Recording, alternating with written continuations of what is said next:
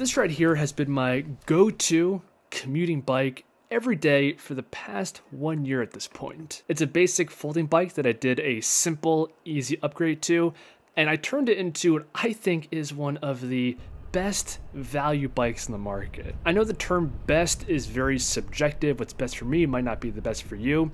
But if there ever was one universal best bike, I think this might be it. So in this video, I want to take the opportunity to do a one year look back, long-term review of this bike, things I would do differently, how it's holding up, and of course, how much the whole thing cost and the conversion process. So if that sounds good to you, get the video like, subscribe, and let's get started.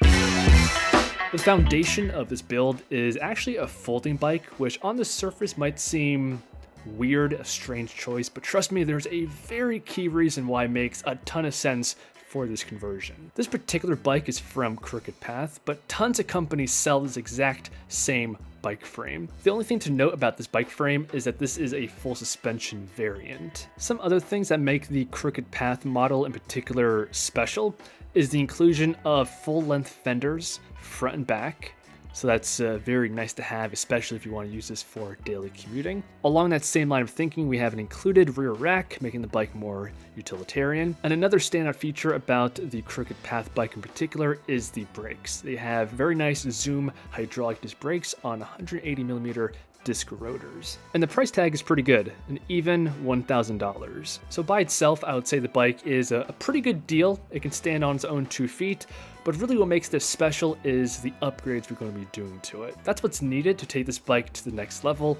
and crush all the competition on the market. So the first thing we need here is the new Phaserunner controller and the Cycle Analyst display, which connects to the Phaserunner. Together, that's going to cost you about $500 kind of expensive, but I think at the end you're going to see it's going to be well worth it. Oh yeah, and we also need this adapter for the motor. $22. And the final component we need is the battery, and this is to have the single biggest impact on both the range and the performance. I went with a 60 volt 19.2 amp hour battery from Unit Pack Power, which is a Chinese company. They have good reviews. I bought two of their products before, but definitely do your own research and this particular battery is going to cost you about another $500. So that means all in, the bike is $1,000, the controller display is $500 and the battery is an additional $500 for a total of just 2000 bucks. And once you get all the parts delivered, you have to of course do the upgrade. I made a full video on this showing you guys step by step how to do it. So if you want to follow my footsteps, check out that video. I'll leave it linked at the top right of the display. But I got to say the conversion is very simple. We remove the default battery and controller from the inside of the bike frame and we put the new controller where the old one was. This is the key advantage of using a folding bike frame because the inside is hollow, a perfect place to stash the controller and extra wires, helping to keep the aesthetics very clean and professional looking. This frame also allows us to easily mount the new battery on top of the frame. Little warning, the battery is going to be a tight fit, but it does work as long as you put the base plate uh, as low as possible on the frame, close to the hinge. The last thing to do is put the new display on the handlebars. And by the way, speaking of the handlebars, I have these BMX bars on the bike. I'm a huge fan of them. I bought them off of Amazon. It's like 30 bucks. I think it's worth it. I'll leave this exact model linked below the video. But once you have it all connected, there's a program, the Phaserunner app, that you can use to uh, set the parameters for the system. And the nice thing about this controller is that it's fully customizable. You can run this at any wattage you want and up to a 72 volt battery. Of course, this build is running at 60 volts and I have the wattage set to 1500 watts. And that's how I got to where I am now with this very simple, clean, easy to upgrade bike. I now have over 2,000 miles on it, one year of ownership, and the bike is running just fine. I was a little bit afraid that running at a higher voltage, you know, 1500 watts would damage the motor, but I've had no such issues. In fact, if I can go back in time and make some changes, I think I would just put on a 72 volt battery. That would give you even better acceleration and top speed. And speaking of top speed, in this configuration, it's 30 miles an hour. It's pretty peppy. Also, the throttle response is smooth. It's very nice, linear, and that's due to the expensive controller we installed. The throttle is very nice. And this battery gives me a range of just under 30 miles with zero pedaling.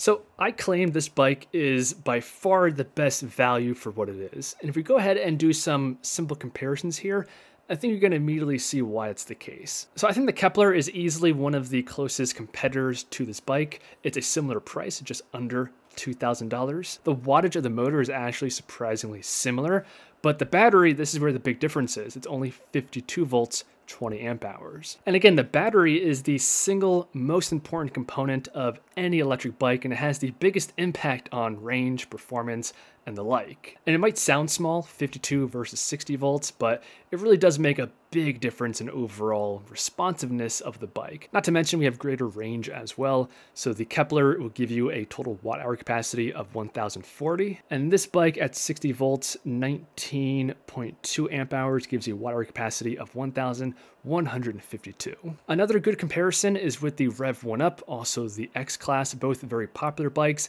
They're a little bit more expensive at about $2,300, but it's much the same story. The wattage is similar, but the battery is only 52 volts with both of these bikes. There's only one other bike in this price range that has a 60 volt battery, and that's the Wired Freedom. And this is actually pretty similar to this folding bike. So the price tag is exactly $2,000. The motor is exactly the same, the wattage, very similar and the battery is 60 volts 20 amp hours the biggest difference is actually the the frame the design so the wired freedom is a traditional bike it has bigger 26 inch wheels but if you want something that's similar and you don't have to do this conversion process even though it's easy the wired freedom is the next best thing so that's my long-term one-year review of this bike I think it's an excellent value. I mean, 2,000 bucks and you get this level of performance. It's truly unbeatable. And this bike has a high ceiling for upgrades. There's still more stuff that could be done. For example, I've been contemplating whether or not uh, a suspension upgrade, front and rear, uh, that 72 volt battery, even a bigger motor is worth it. But honestly, I think the form the bike is in right now is the, the best value. And every additional dollar you spend on it from this point on is going to give you diminishing returns. Wow, look how steep that hill is. Is that coming across on camera? So this is flat, hill, very steep. Let's see if the bike can make it. Okay, no pedaling, just throttle. Yeah, not bad at all. 11 miles per hour.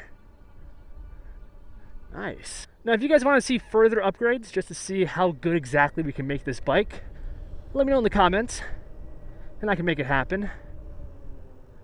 But another option we have here is to retire this bike and move on to a brand new bike build and hopefully discover another hidden gem. I've been doing some research and I think a good bike for the next build would actually be the P51. Now it's not a perfect bike, it has pros and cons. Uh, the biggest con is that it's $3,800. Another con is that stock, the performance really isn't that great. It's a 48 volt battery, so it's certainly not going to be a value bill like this one was. But I think that bike has a high potential for upgrades. So the frame, for example, is very accommodative to adding extra batteries. You could easily add another two batteries onto that frame and still have it looking nice and like it's meant to be there. But the real highlight of this bike is the suspension. The P51 I think has the best suspension of any e-bike on the market right now. These suspension components are very similar to the Sur-Ron, the Talaria Sting MX4, but just a little bit better. So I think juicing it up to 72 volts would really make this bike something special. So let me know in the comments, do you want to see further upgrades on this bike or move on to the next one. If you're still watching and enjoyed, I appreciate a like on the video before you go. Maybe even subscribe for future content. And I'll see you guys in the next one. Peace.